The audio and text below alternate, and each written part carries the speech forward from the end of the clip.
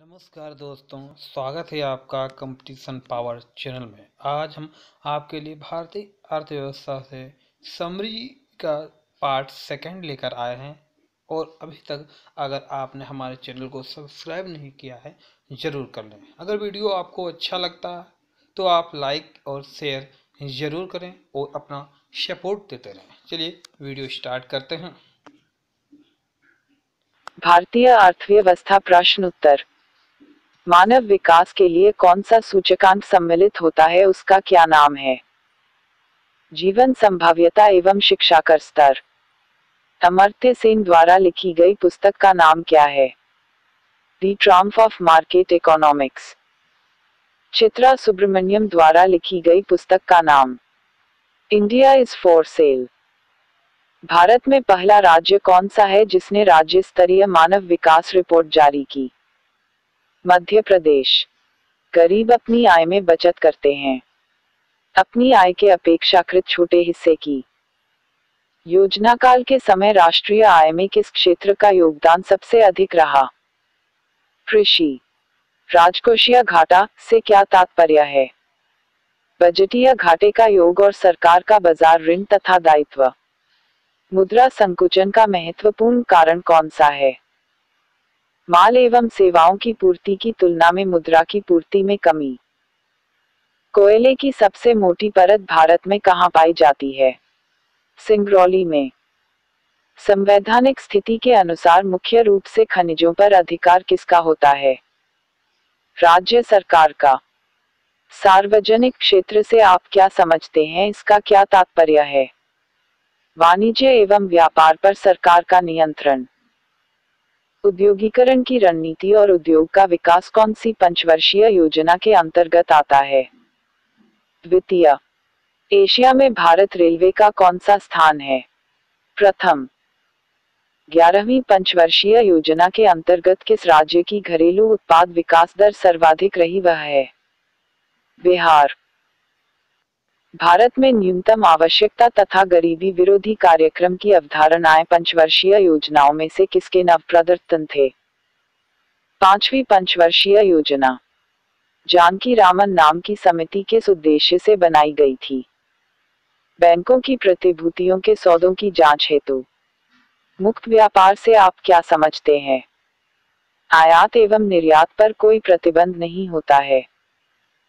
विदेशों में स्थित विदेशी बैंकों के साथ विदेशी मुद्रा में भारतीय बैंकों द्वारा रखे गए खाते को क्या कहते हैं? नोस्ट्रो अकाउंट्स भारत में मुद्रास्फीति की गणना किस पर आधारित है? थोक मूल्य सूचकांक।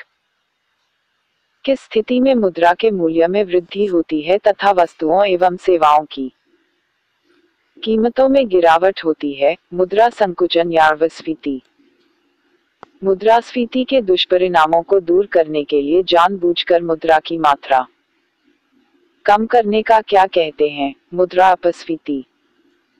सकल घरेलू जीडीपी में कृषि एवं संबंध क्षेत्र का हिस्सा कितना है? तेरह दशमलव छह सात प्रतिशत। 1950-51 में भारत के सकल घरेलू उत्पाद में कृषि का योगदान कितना था? बावन दशमलव दो प्रतिशत। रबी की फ़सलों की बुआई कब की जाती है? अक्टूबर नवंबर, दिसंबर। रबी की फ़सलों में कौन सी फ़सलें आती हैं? गेहूँ जौ चना मटर सरसों व आलू आदि। खरीफ की फ़सलों की बुआई कब की जाती है? जून जुलाई। खरीफ की फ़सलों में कौन सी फ़सलें आती हैं? ज्वार बाजरा मक्का तिल। मूंगफली अरहर आदि। जायद की फ़सलों को कब पैदा किया जाता है? मार्च से जुलाई के मध्य। जायद की फ़सलों में कौन सी फ़सलें आती है? तरबूज, खरबूज, ककड़ी तथा पशुचारा। दूसरी बार रुपए का अवमूल्यन कब हुआ? 6 जून उन्नीस रुपए का सर्वप्रथम अवमूल्यन कब हुआ? 20 सितंबर उन्नीस रुपए का तीसरी बार अवमूल्यन कब हुआ? 1 जुलाई उन्नीस सौ इक्यानवे। व्यापारिक या नकदी फ़सलें कौन सी होती हैं? कपास, गन्ना, तिलहन, चाय। जूट तथा तंबाकू। भारत में सर्वाधिक मात्रा में खाद्यान्न का उत्पादन होता है चावल। देश में कृषि के अंतर्गत किस तरह के उर्वरकों का सर्वाधिक उपयोग होता है? नाइट्रोजनी। विश्व में मसलों के सबसे बड़े उत्पादक, उपभोक्ता और निर्यातक होने का। गौरव किस देश को प्राप्त है? भारत। रबर के उत्पादन में भारत का विश्व में कौन सा स्थान है? चौथा। रबर की प्रति हेक्टेयर उत्पादक में भारत का विश्व में कौन सा स्थान है? पहला। हरित क्रांति से किस फ़सल के उत्पादन में सबसे अधिक वृद्धि हुई? गेहूँ। अंगूर की प्रति हेक्टेयर उपज में भारत का विश्व में कौन सा स्थान है? पहला। मोटे अनाज के अंतर्गत कौन सी फ़सलें आती हैं? बाजरा, ज्वार, रागी। मक्का तथा जौ। कृषि के अंतर्गत ट्रैक्टर्स के उपयोग की दृष्टि से भारत का विश्व में कौन सा स्थान है? चौथा। काली चाय का विश्व में सबसे बड़ा उत्पादक और उपभोक्ता देश कौन सा है? भारत। भारत का विश्व दुग्ध उत्पादन में कौन सा स्थान है? पहला। कुल पशुओं की संख्या की दृष्टि से विश्व में भारत का कौन सा स्थान है? दूसरा। कुल पशुओं की संख्या की दृष्टि से विश्व में कौन सा देश पहले स्थान पर है? ब्राज़ील। अंडों के उत्पादन में भारत का विश्व में कौन सा स्थान है? तीसरा। विश्व का सबसे बड़ा चमड़ा उत्पादक देश कौन सा है? भारत।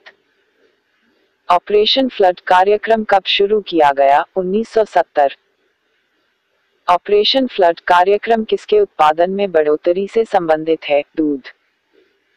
ऑपरेशन फ्लड कार्यक्रम के सूत्रधार कौन थे? डॉ. वर्गीज कुरियन। विश्व में समुद्री मत्स्य उत्पादन में भारत का कौन सा स्थान है? छठा।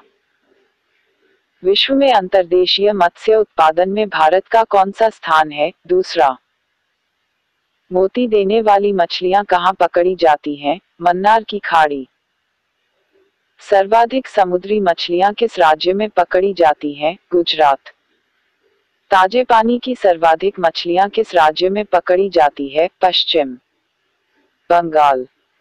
कुल मछली उत्पादन में कौन सा राज्य पहले स्थान पर है? पश्चिम बंगाल।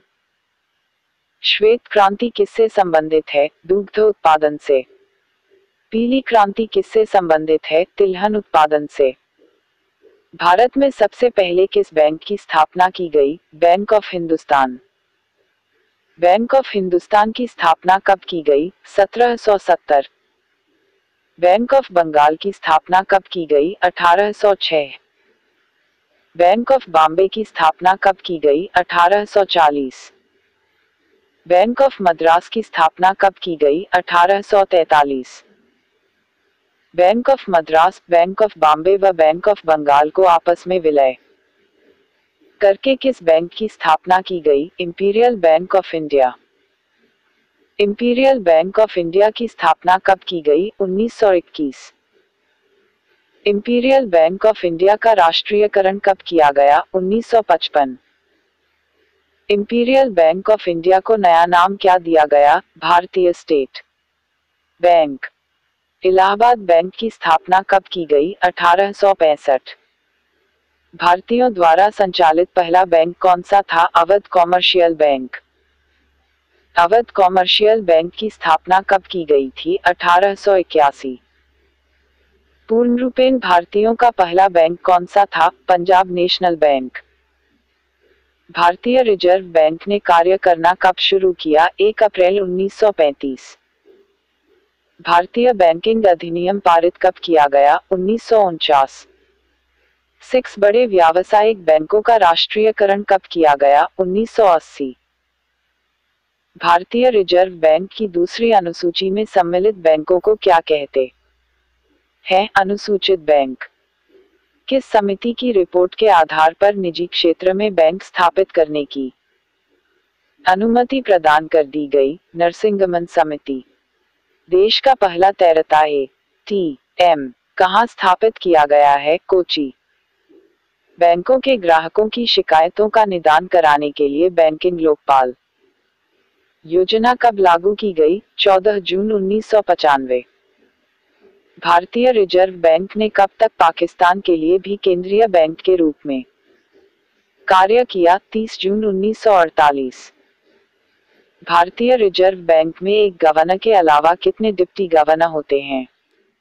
चार।